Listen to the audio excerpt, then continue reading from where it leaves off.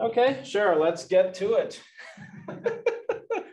um, yeah, so um, I gave a, a, terribly inadequate description of how you can get um, a discrete sparse Fourier transform result from uh, from the methods that I just that I just sort of briefly outlined on how to turn these compressive sensing, sublinear time compressive sensing results into sparse Fourier transforms. Let me give you a theorem that you can find somewhere so that you see how well it performs if you're doing a discrete Fourier transform. And it'll be pertinent directly in a second. So let's do it. So here we go. So let's go ahead. All right, you can choose your the size of, or take the size of your vector that you want to approximate the discrete Fourier transform of. It's going to be some integer. Um, and you get to choose your sparsity. Um, right, some integer less than n, uh, at least two. And you're going to have some parameter r that has to do with your unequally spaced uh, FFT techniques. So this Gaussian that you create, that you're going to convolve with things and sample from, um, sort of implicit in the paper.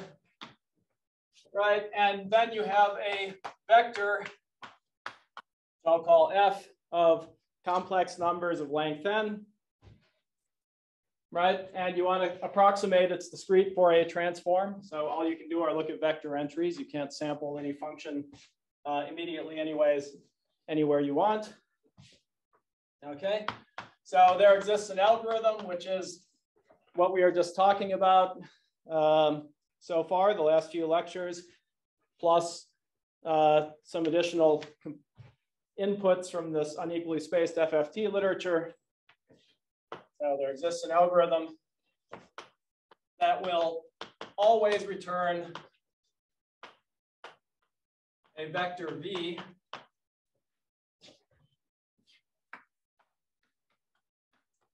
That's a good approximation to the discrete Fourier transform of f.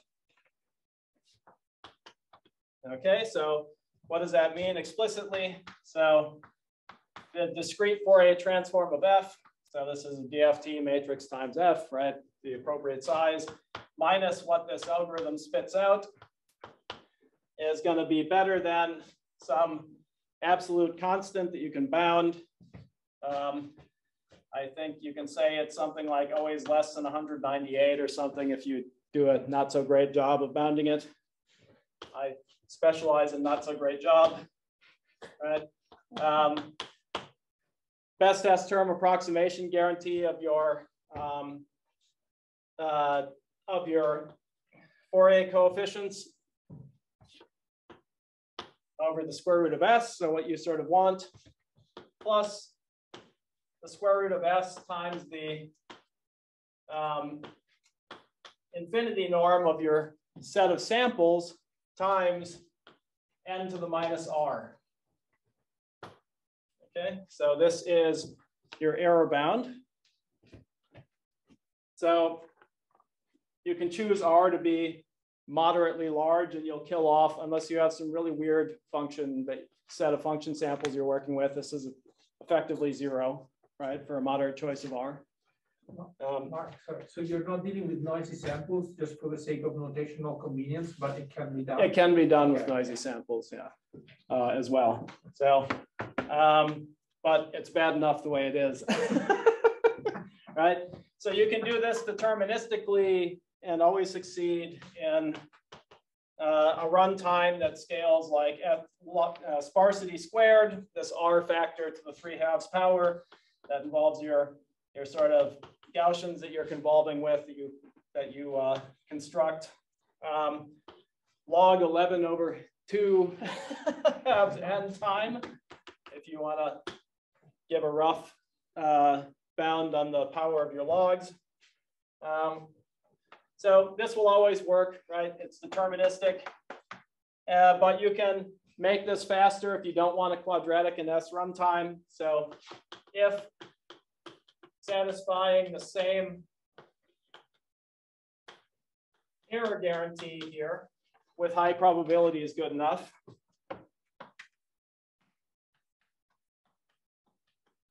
At least uh, one minus p suffices. And you can do this by subsampling your grids that you use, effectively taking a smaller number of FFTs and doing a pared down version of the sublinear time reconstruction, compressive sensing reconstruction algorithm we've talked about. Um, you'll have a, a Monte Carlo result as a, a variant as a result, meaning it fails with some small probability. But with high probability, it'll satisfy the same guarantee. Um, and it'll run with the number of samples and the runtime that's just linear in S, same factor of R, log to the 9 halves n times log of n over p. So difference here. Take one of your, you have to take one of your log factors and put it, make it n over p instead of n, and then you're, then you're fine. All right. Good. Yep. Uh, when you say there is an algorithm such that uh, specifically one of the algorithms that you uh, learned the other session, or uh, you mean? It's it is the algorithm from yesterday. I just uh, so you could say there exists an algorithm, and it's the algorithm from yesterday with potentially some subsampling of the. And that what does that mean? That also means you have to choose your p's and choose your q's in a way that sort of makes sense. In the code that Craig is advertising on in the chat on Zoom, by the way, um, there are automated ways of choosing them. You don't have to choose them in the code. You just enter a sparsity and an n. And then there are fairly intelligent choices of primes and stuff that all happen in the background and you can, you know, so I believe the code is fairly user friendly. You don't have to worry about all these details if you don't want to. Um, yep. So that's what I mean by exist. So it's exactly the method from yesterday. Plus this sort of uh, quick way of computing um, those matrices times the Fourier coefficient, coefficients by taking FFTs and blah, blah, blah. And the unequally spaced FFT techniques here that are sort of letting you take the samples you have available to you and get the ones that we just discussed in the last hour. So all of that stuff is the algorithm that exists, but it's laid out fairly explicitly in, for example, so uh, if you want to see exactly um, a constructive version. So there's Merhi, Zhang, and other authors. These are my uh, some students of mine. It's a new class, uh, fully discrete. Um, sparse Fourier transform methods, faster, blah, blah, blah. Right? Okay. Um, Journal of Fourier Analysis.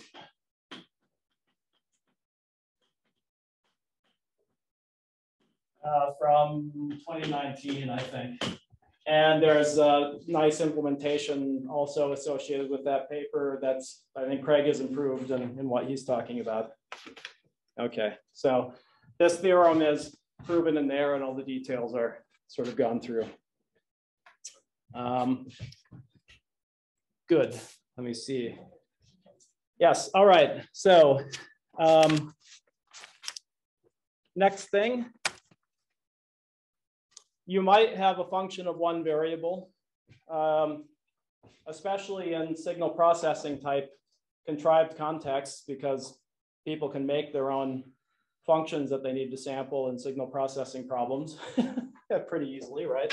Um, but you might have a function of one variable where uh, where you have a really huge value of n, sort of like a giant bandwidth, uh, misusing terminology a bit there, where you have sparsity, maybe corresponding to a signal that somebody's hidden somewhere by modulating, using some modulation hopping scheme or something like that. So maybe this stuff has some, has some value in those situations, but it's much easier to imagine that for functions of many variables where your um, space of, of Fourier uh, basis functions grows exponentially with the dimension, that you can have a really huge dimension that you just can't handle and you really have want to do a sparse approximation there. So that's what we're going to talk about next.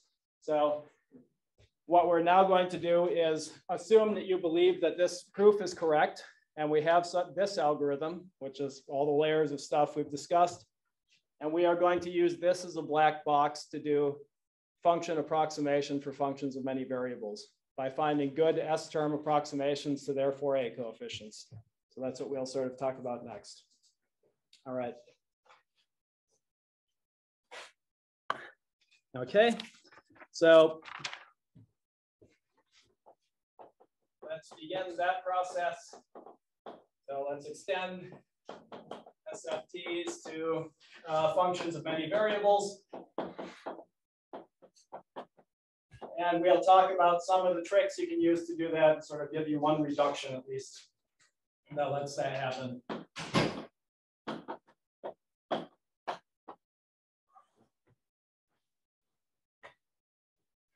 All right, good.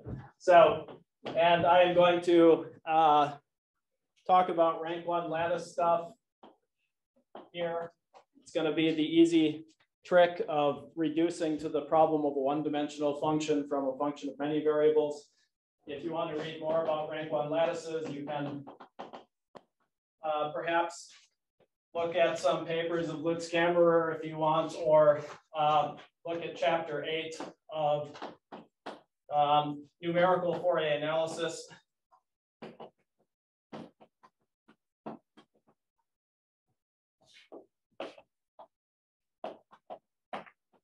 by uh, Daniel Potts and some uh, some other folks.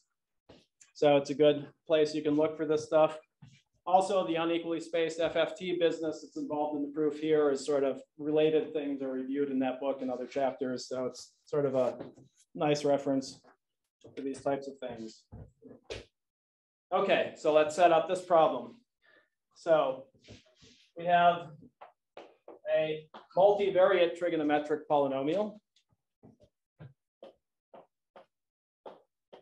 A multivariate trig polynomial.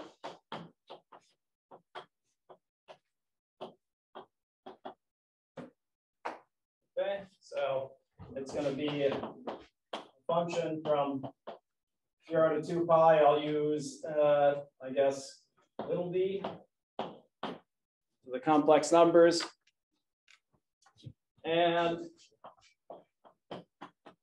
so that means I can write it in the following form.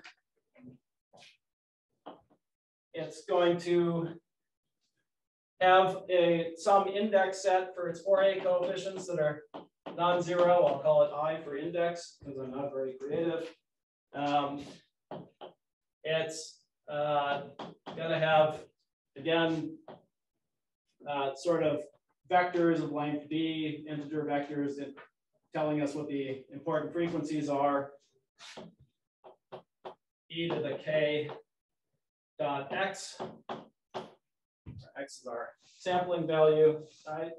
And I can be any kind of arbitrary index set you want. I'll just stuff it into a really big, potentially large uh, rectangle. So it's going to be a minus m to m to the d, some subset of that. Could be like a hyperbolic cross, could be some weird lower set. I don't really care. It's something. That's something in there. All right. Um, good. All right. So in order to build up the sort of rank one lattice method, I'm going to take a particular type of evaluation point that I want to stuff into my function. That's going to immediately simplify it.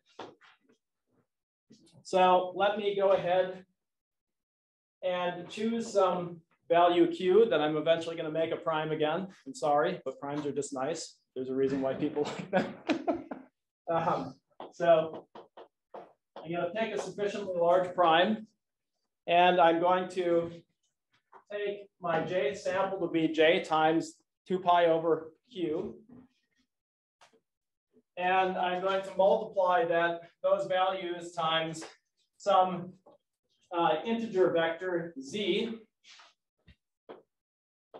and I'm gonna mod every entry of Z out uh, by Q. So this is a component-wise mod.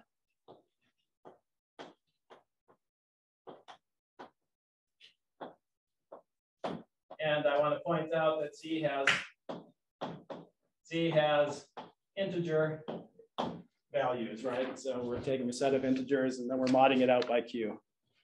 Okay. So if you think about what this does, mm-hmm. and then I'm going to take this, I'm going to let uh, Z vary from zero to Q minus one. Right? Yeah, Excuse me, uh, I just wonder, real applications, do we know that, uh, the frequencies that we're looking for, maybe this is a repeating question, but are we sure that the frequencies that we are looking for, they fall exactly onto the grids? Oh, uh, so if we're dealing with a trigonometric polynomial like this, then we're gonna have integer frequencies. So that much we, we can be okay with. You can think of it as, uh, we have, I mean, we're, we're dealing with, uh, a multi-dimensional basis function, a product basis of, uh, one-dimensional Fourier bases. So there's, this is gonna be a spanning basis for your set of L2 functions that you care about. And so we're, we're able to make these uh, integers, whether there'll be a sparse approximation with respect to this basis is more what you have to worry about probably than anything else, but it'll be a basis and you'll be okay. Does that make sense? Yep, so they'll, so these guys will be integers, and if you take this thing for all possible sort of integer uh, vectors, so all possible n to the d things, this will be a, a basis that you can work with for representing a, a function of d variables like this. Good. Any other questions about that type of stuff? Okay. So this is going to be a set of, of samples on this d-dimensional torus, right? Um, because I'm modding out component wise here, what I'm really uh, mod Q, what this is really doing is sort of the following so that you have maybe some intuition for what these samples are doing to my my tor my sort of d-dimensional torus. So I'm I've got my function defined on a donut, right? And effectively what I'm doing is z is determining some uh, some sort of um, place place that I start walking, a direction that I start walking in around the torus. And then I've got this sort of one-dimensional path that's sort of winding around this donut. And it's going to be a nice closed path because everything's periodic and I've sort of forced it to be. So I've got this path winding around the donut and then I'm sampling values on this path. So that's what's happening here. I'm creating a one-dimensional path that winds around the donut and then I'm sampling on the path. That's effectively how I've simplified the problem.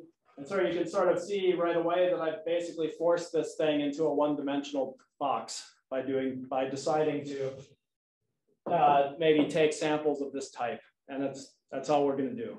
Now it's a one-dimensional problem, I, I claim. Okay, so uh, so to see that it's now a one-dimensional problem,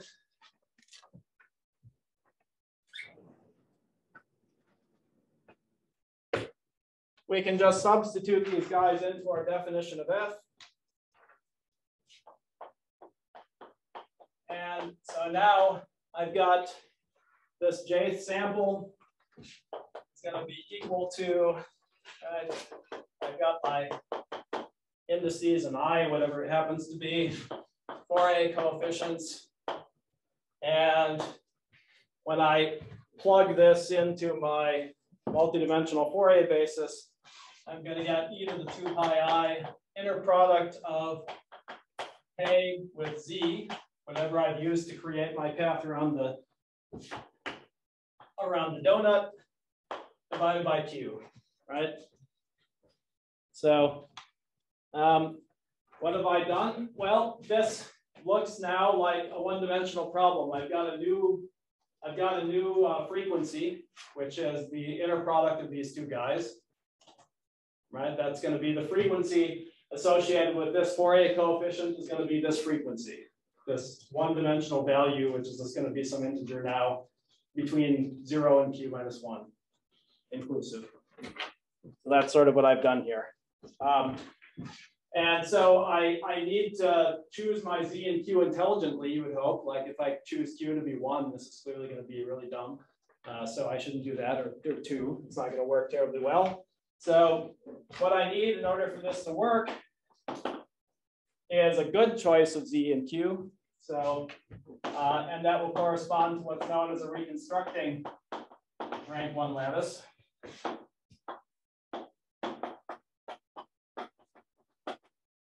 Which there is a large literature for, or whatever set i I happen to think my function has a good S-term approximation in. So this is a choice of integer q, and um, and I'll take it to be a prime. Make my life easier, probably yours as well. And also a z that's going to sort of tell me how to walk around. Um, and because I'm component-wise modding out by q, I can just make it in the set uh, bracket q to the d from the get-go. And I want to choose these things so that um, z inner product x is not congruent to z inner product y uh, mod q for all x and y in my set, my index set i that are not equal to one another. Right? Um, very natural idea that's quite similar to all of the stuff that we were just doing in the one-dimensional setting, right? We just want, we effectively want Z to hash any two things in I to a different place. That's all that's happening. So we've got like a number theoretic hashing going on, and that's, that's all that's going on here. So in the spirit of my FM sort of maps, mapping columns to, to numbers and stuff like that, maybe I have something a little similar here. So this induces some map H depending on Z and Q as parameters. It's going to map I, my index set, to uh, let's say IZQ, uh, which is going to be just the inner product of everything in I with Z mod Q.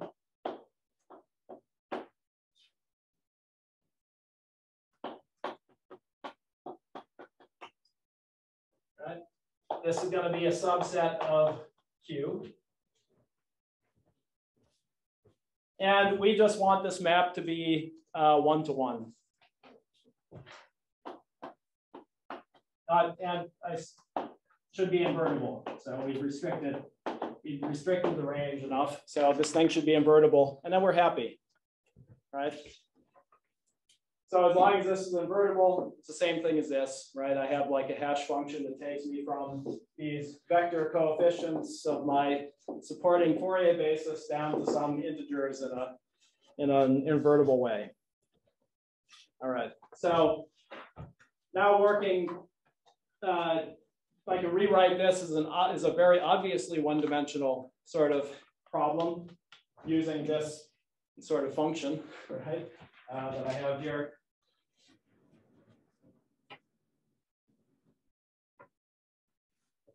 Just do that. So f these function samples that I have access to. The j function sample is going to be equal to the sum over all the frequencies in this IZQ set. I can read, because it's a, if this is a reconstructing lattice, this is going to be a bijection, so I can call the Fourier coefficient omega that's going to correspond to some inner product of its multidimensional support with z mod q. Uh, and this is going to be two pi i omega j divided by q. And this is a one-dimensional, now a totally clear one-dimensional FFT problem. To take samples of this and figure out Fourier coefficients of this. Not only that, but um, right, like if the original Fourier coefficients are sparse, then these are going to be sparse because they're mapped one to one to these integers. So it preserves sparsity in the, for, the multidimensional Fourier basis. So we have a sparse one-dimensional FFT problem.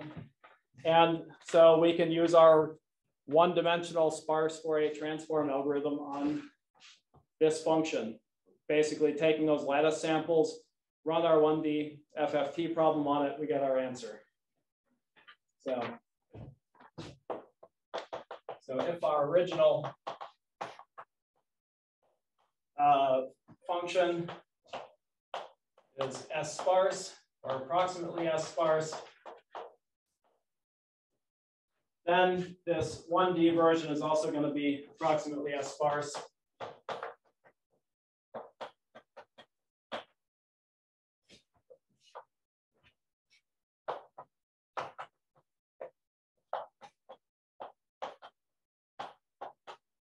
And so we can recover with a 1D sparse Fourier transform. Right? It's pretty much that simple, sort of a black box sort of technique, with one caveat. uh, so the output of everything that we've talked about so far, once we take this transform version of our function of many variable samples and run our one-dimensional method, um, we're going to get output that looks like this. So I'm going to have this function h, which depends on q and and uh, z. I guess I should put z first, maybe.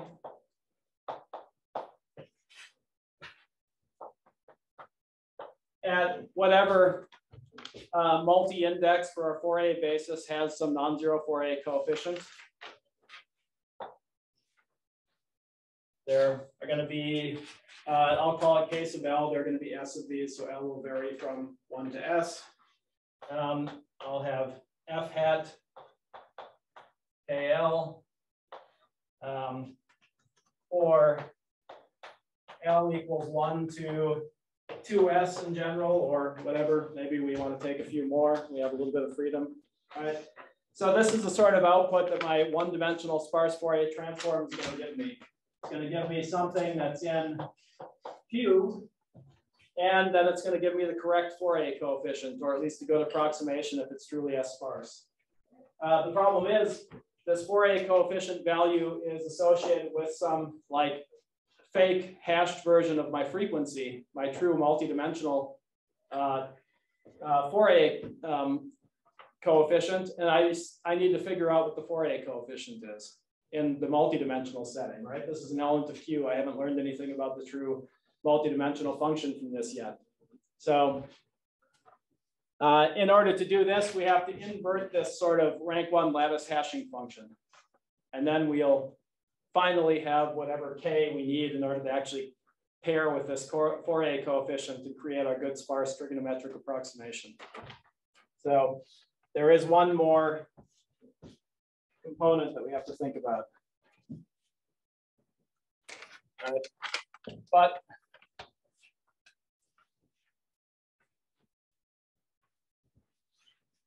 it's not too bad. So let me tell you how to do that. Or at least tell you a few different options you have.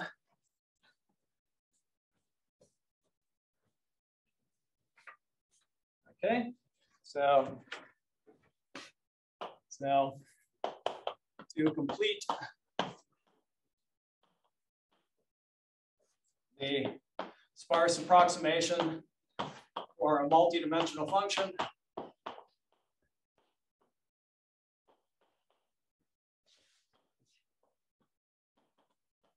Point is, we need to invert this map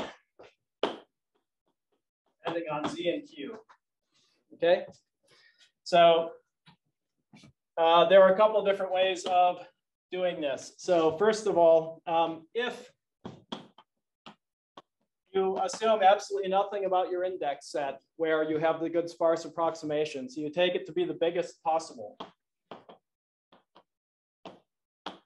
So I is thus equal to this giant rectangular set of frequencies and you're looking for the best S sparse approximation in this whole thing, okay? Um, uh, there are H constructions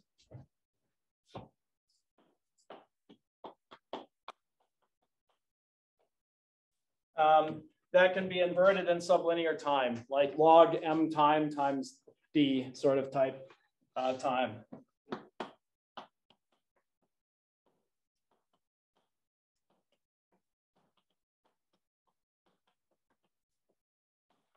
And these are sort of um, constructed using something very analogous to these K-alpha coherent constructions using multiple primes.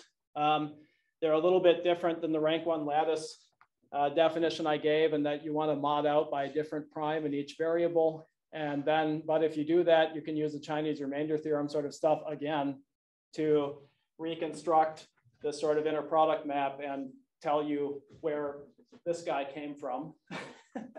um, so the, that's something that uh, uh, Martin Strauss, Anna Gilbert, and some of their collaborators came up with in one of the earlier SFT papers. Um, it's also, you can, it's uh, also talked about in this, uh, in this ACHA paper of mine from 2013 that I referenced before. So you can do that, right? But then you have to use the full potato here for I, and maybe you don't want to do that. So really dumb thing you can do. Uh, if, if I is arbitrary, and you're going to use it a lot, you could just compute this map and store it and then use a lookup table, right? Um, if i is not too huge, that's an option. And so you can store a good uh, HZQ inverse for I somewhere. Okay that's less interesting for me because I sort of want to think about cases where I may vary from function to function, and this is what you need if you want good for each guarantees. Um, so else, uh, if I is huge, too big to store ever, huge, arbitrary, and can vary from function to function, and you can ask uh, my graduate student, Craig Gross, how to do it. Okay, so he he has a, a paper about how to how to do exactly this type of thing. So, so you can use specialized techniques to do this.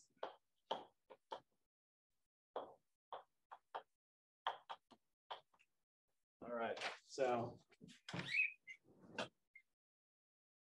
And if you want to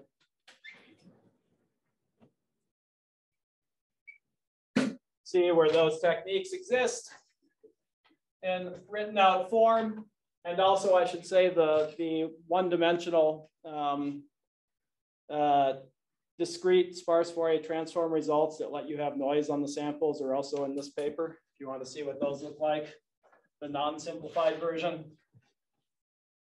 Uh, you can see it in Craig's paper. There are two sort of strategies for doing this for arbitrary I and sublinear time by, and the only problem is that you have to do several one-dimensional uh, rank one lattice S, uh, SFTs in order to get the information to rapidly invert this, this, mul this multiple rank one lattice thing. So, so Craig Gross myself, uh, Kammerer, Volkmer, um, SFTs on rank one lattices.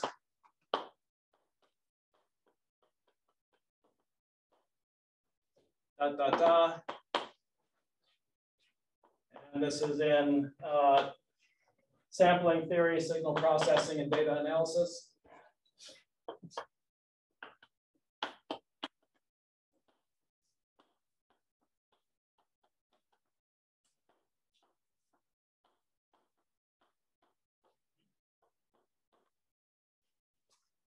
From early this year, I guess it just appeared. Okay, and so the, the price you pay are you need some additional samples to pull this off for arbitrary I quickly. And what you end up doing is you have uh, run times that are something like b plus one, uh, one dimensional um, sparse Fourier transforms that you have to run on different modifications of rank one lattices. Um, so you have something like b plus one times the runtime of a one, 1D sparse Fourier transform.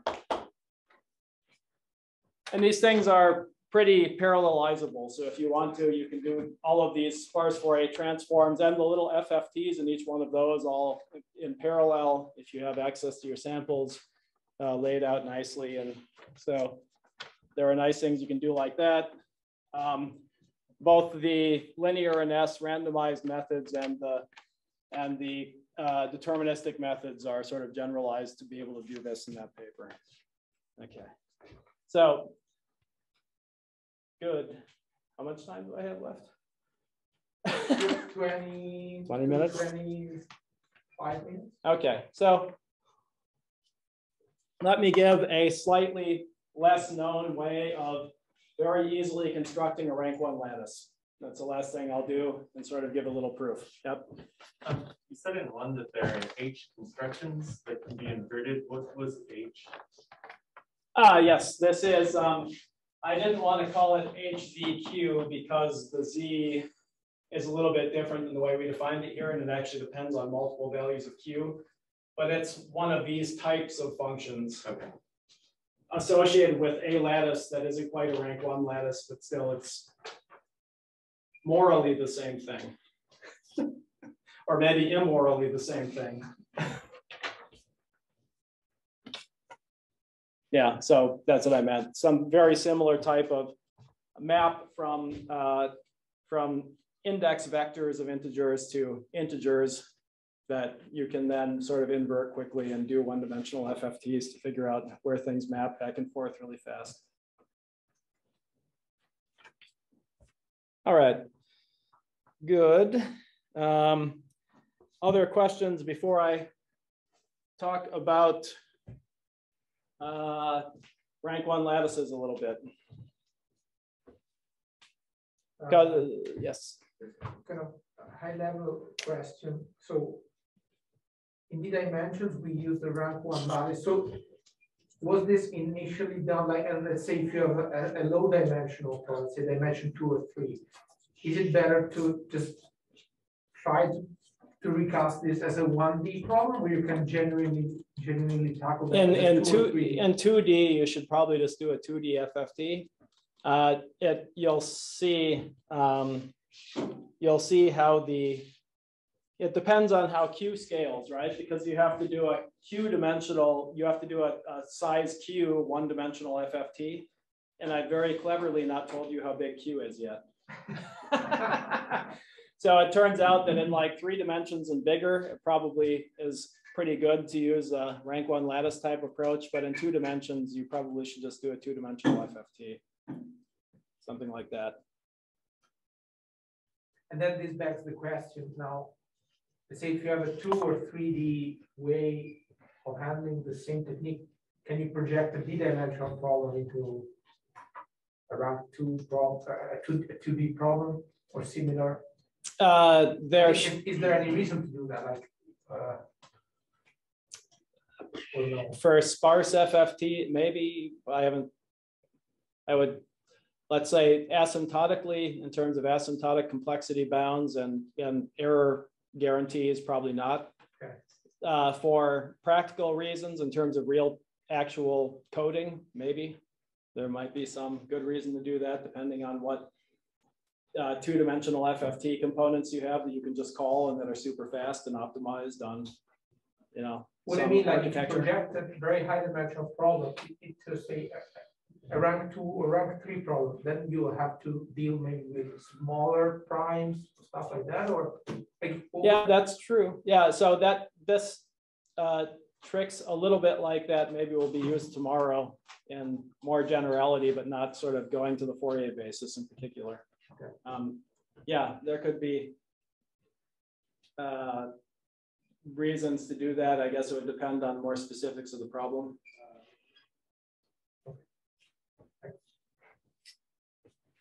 Uh, good. Any other questions folks might have? Okay, so, um, so to talk about how to actually construct a rank one lattice and uh, therefore construct this function, let's um, just give sort of uh, an easy construction for a rank one lattice for an arbitrary i. That requires you actually to not even know what i is, which is my favorite type of rank one lattice or hashing, right? I just have to know a cardinality bound on i, and then I can win and come up with a lattice for it without having to even know what it is. so that's nice because maybe I don't know exactly that it's sitting in some hyperbolic cross uh, sort of approximation space. Maybe I just have a feeling about the cardinality of whatever the weird set is. Um, so here's uh, theorem. So let's actually maybe I'll put theorem on the on the next board.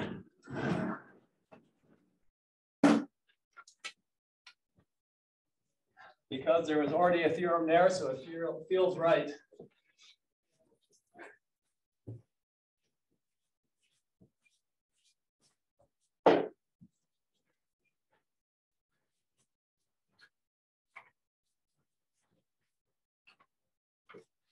And uh, another reason why I like this is that it sort of actually can more directly be used to give you a much simpler multidimensional sparse FFT algorithm. If you think about it, that doesn't require you to do a rank one lattice method in order to get to a one dimensional discrete FFT method, which is actually a combination of unequally spaced FFT methods plus some weird uh, sublinear time algorithm variant, which maps down to error correcting code stuff, right? That's a quite a hierarchy this sort of can get you there pretty directly if you use it in the right way, I think. So let's uh, let's maybe finish with this. So I have some unknown subset of minus m, m to the d, and uh, I have some probability that I want to succeed in constructing a reconstructing rank one lattice for this set. So go ahead and choose any prime that you like, although it should probably be the smallest admissible one. Q that's larger than the maximum of the cardinality of i squared divided by p and uh, twice m. So whichever one happens to be bigger, plus one, I guess, if you want to be formally correct. Okay. And then go ahead and choose Z, your, your lattice vector.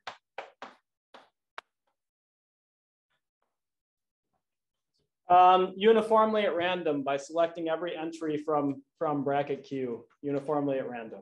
Okay.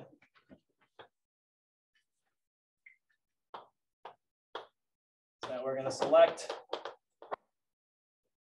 each entry independently and identically, uniformly at random.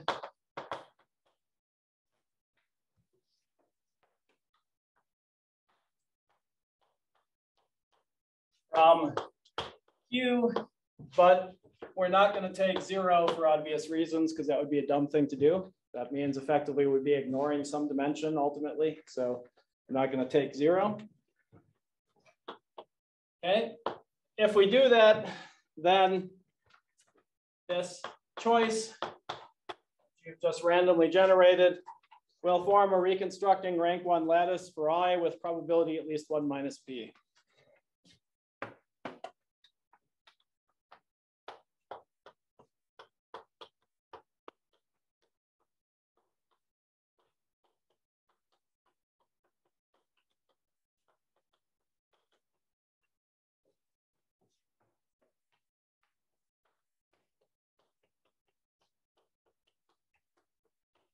Okay. And just uh, so what's the benefit of this over the giant literature of deterministic methods for selecting a deterministic uh, rank one reconstructing lattice for a given set I. Here I don't even have to know what I is. So uh, I just need I just need an upper bound on its cardinality.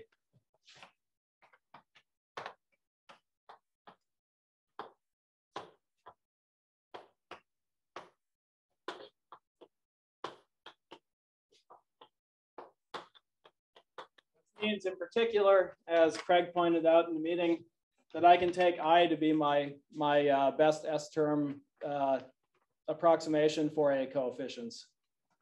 And then just generate a rank one lattice for that thing with a Q that isn't too big. And now I have a one dimensional FFT I can solve and you know, figure out what the what the answer is using sort of methods from his paper up here. So there's another reason to look at this this paper. And then I don't even have to do sparse Fourier transforms. I can just do a small number of, uh, of regular rank one lattice FFTs and sort of figure things out. But the probability of success will be worse than the best available. And you know, there are downsides to doing that, but it sure is simple. So it's maybe nice to reference or, or sort of mention that you could do things that way.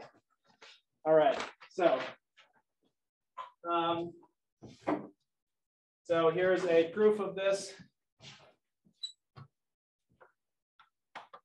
So using a, a standard sort of um, easy randomized construction type of approach, let's go ahead and fix some arbitrary vectors x and y from our index set i, right? Pick two that are different from one another right? And I'm going to think about these guys. And what we're going to do is basically show that the probability that they collide is small enough that it survives a union bound. And then we're done, right? So that's sort of what we always do in these sorts of situations, or can always do.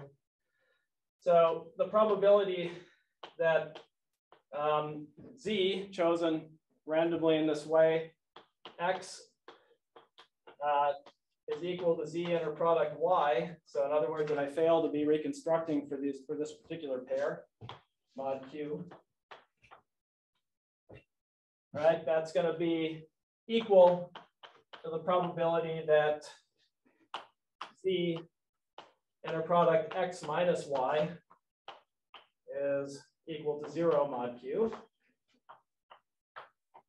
So I know how to manipulate inner products. Okay. All right.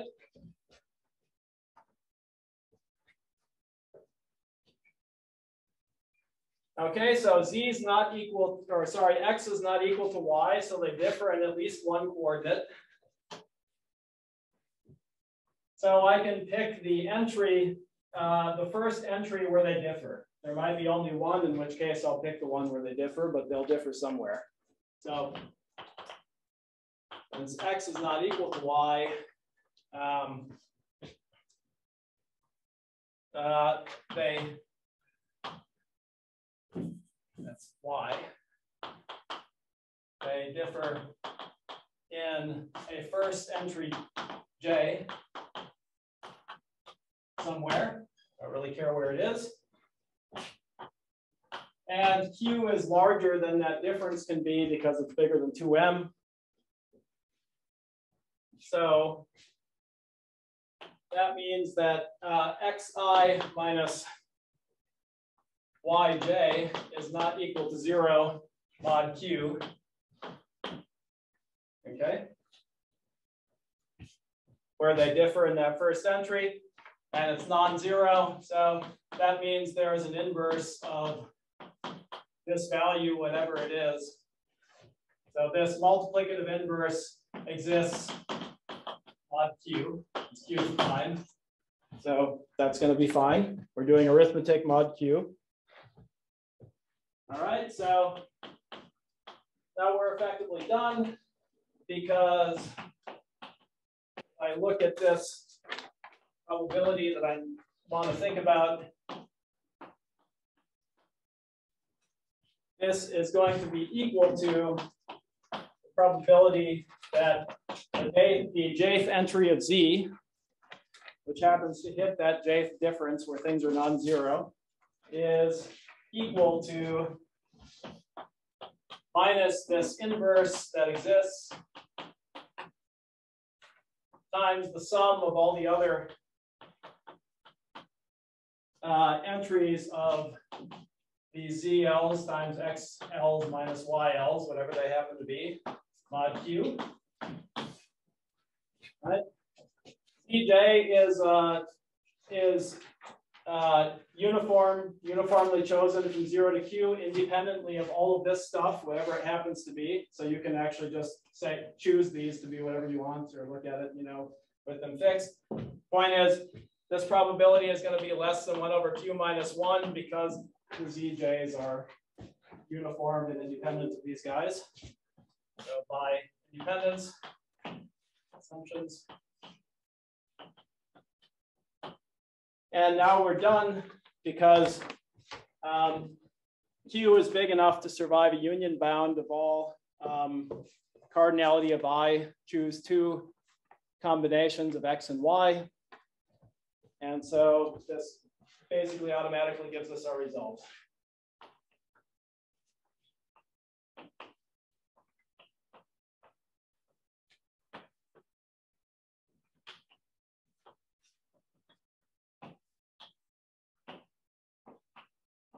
All right, so end of the story basically here. Um, these rank one lattices, if you want the reconstructing rank one lattice, this is the optimal scaling. It's going to scale quadratically with whatever the set happens to be. Um, that's the best that you can do, so you can prove that. Uh, there are deterministic algorithms, if you know I, that will construct uh, uh, near optimal rank one sampling lattice, but then you have to look over every entry of I. So if I is huge, uh, that's going to take you a lot more time than you have if I is, you know, really, really massive. In other words, if, for example, D is 100, you can't do that. So in that situation, you can randomly generate one and you'll win with, uh, with good probability, especially if you make Q bigger, you know, fairly large. And you can do that because remember in, in a sparse Fourier transform, you're going to have logarithmic dependence on the size of your one dimensional FFT. So make Q bigger than you need it. I don't care. And you'll still be fine.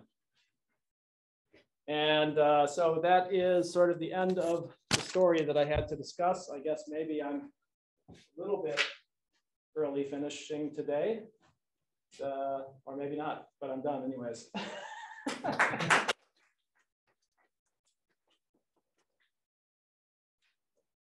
Okay, so that's great. So we have even more time for Q and A. Um, I wrote down a couple of questions. Let's see first if any one in the room has technical questions or big picture questions. Yeah. Uh, so I, I guess this is more about like the numerical implementation of this kind of stuff. Is it, are there, um, sort of like numerical safeguards you have to implement in addition to like the algorithm, or does it kind of work like as described? Like, you- I, if you can understand the way I described it, that's pretty much the way it works. Uh, so in the way that I hope I was describing it, it should work without numerical safeguards really. Um, it's fairly robust. You, you generally, I guess, can't get these types of SS term approximation guarantees that let you have errors on the sampling, uh, the samples that you give things if you have an algorithm that's like super unstable. You just won't be able to prove the result. so numerically, it works, you know, pretty well. So as a, as a follow-up, like the MATLAB implementation that Craig was talking about, is it, is it a fully MATLAB implementation or do you have to build some kind of interface to do some low level operation faster like in C something else, like. I, I believe they're, uh, Craig, are you there?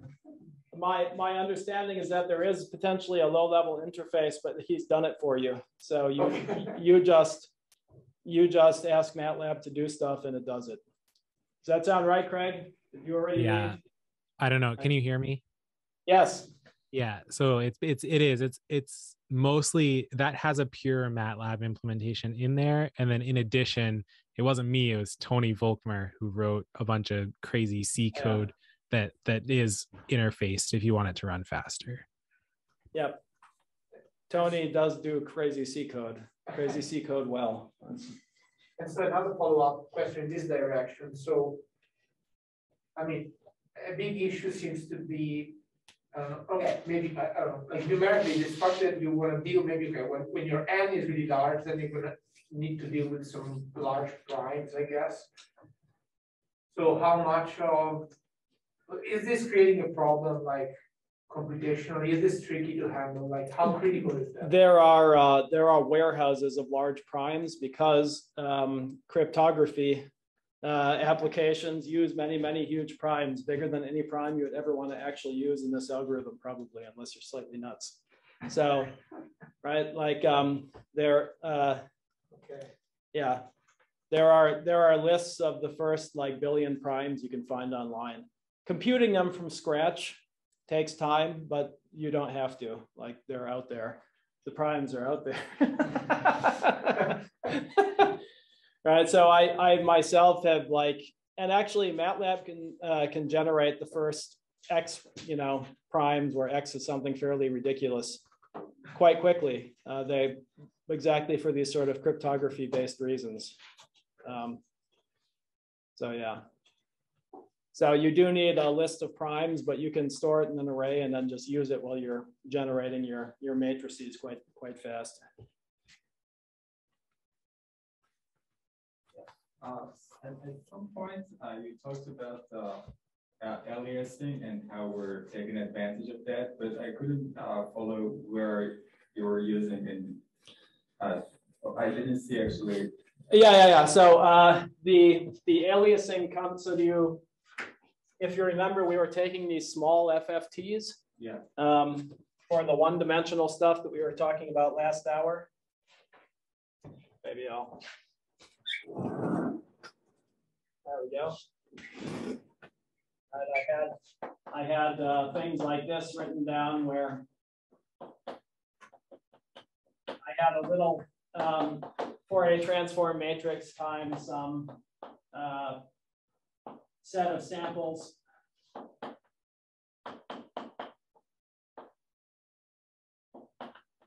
Like this. Yep.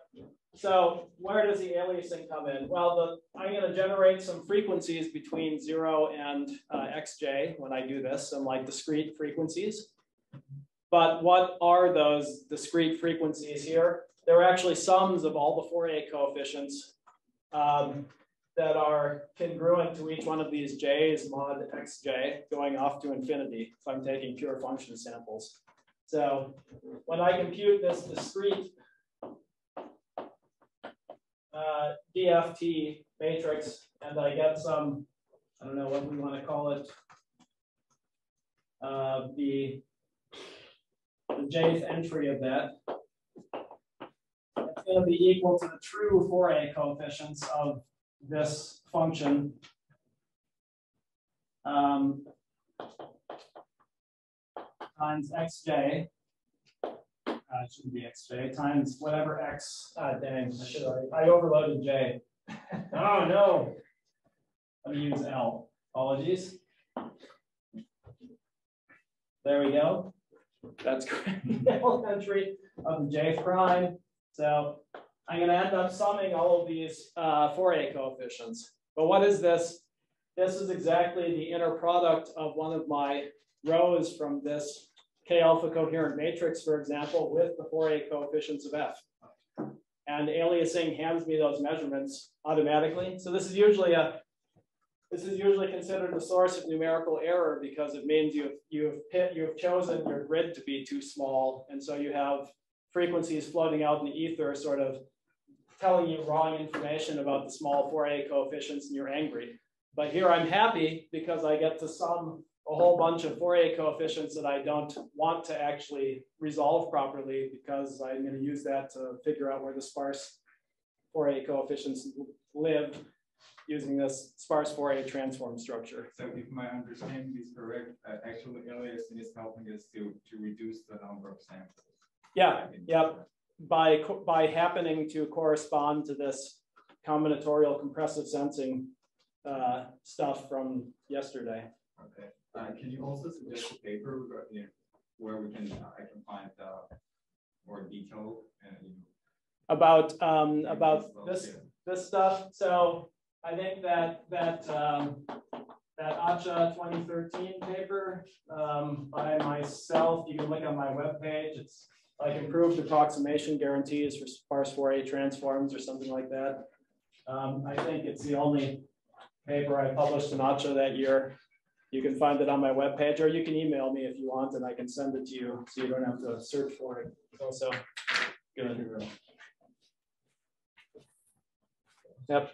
So uh, at the first, I I see that uh, you are assuming the function is the is an expansion of the trigonometric function. Yep, this is So- all Fourier stuff. So what uh, if we have noise in the function? Uh, I mean, if the algorithm still work, You mean like noise on your, so if you mean noise in the function as in uh, noise on your samples effectively that you could- that you take from the function? Yeah, that as long as the noise isn't too extreme, it'll it'll still work. So um, that's sort of similar to uh, Simone's question, I guess, before. So you get you can get bounds that look like, for example, your error guarantees degrade like the infinity norm of the of the of the noise on any given sample. And then I suppose there are ways of fixing that so you can have a small number of highly contaminated samples, you know, but I that's not actually published anywhere, but sort of know how to do that, I guess, in theory. um, so yeah, you can handle that. Um, then when you're doing uh, more general function approximation, you take advantage of that because you sort of take, you approximate your infinite dimensional function by a trigonometric polynomial that's hopefully sparse.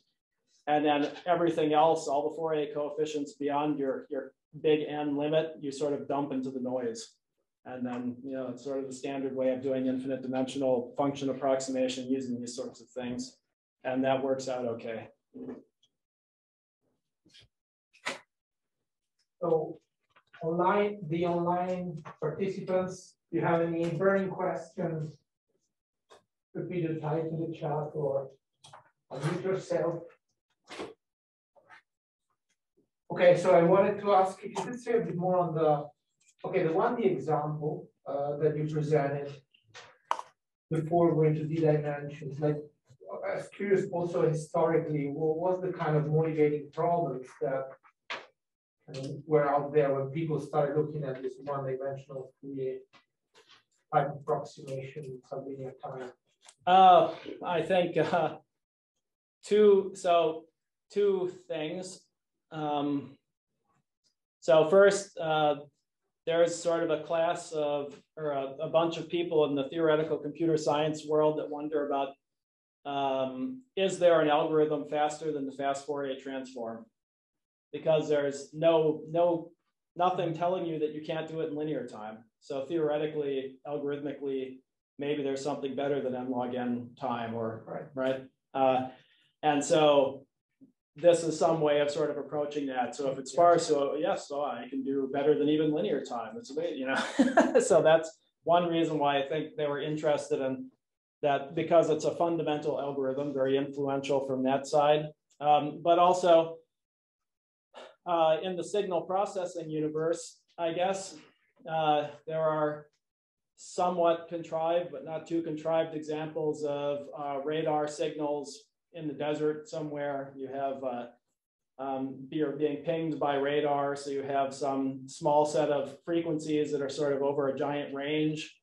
And uh, if you want to discern a Russian ping from a from a, an Italian ping, Um, I guess there are certain equipment specifications that tell, that will chirp in different ways. You want to quickly find the frequency set, figure out what the chirp rate is, and then maybe blow it up or not. So there are signal processing reasons to want to very rapidly identify like frequency support that people have also thought about a fair amount, and that was a motivating factor and may still be for all I know. Uh, Okay. So if there's no further question, uh, let's thank Mark again. We'll meet tomorrow, same time, two P M East time here or online. Thank you again, everyone for attending and Mark for the wonderful second day of mini course. We look forward to the third Yep, day. the third day will be different than this, so if you hated this stuff, you can come back for something different. uh,